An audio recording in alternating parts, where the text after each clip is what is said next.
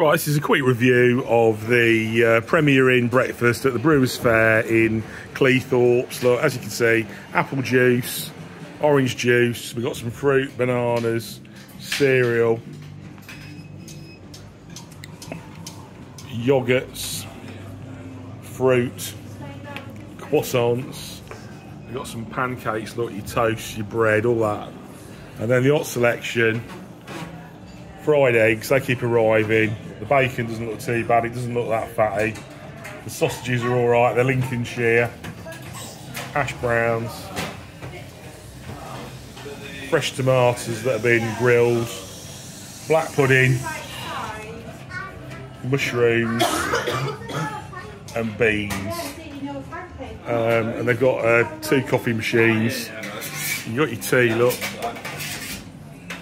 They've got two latte machines.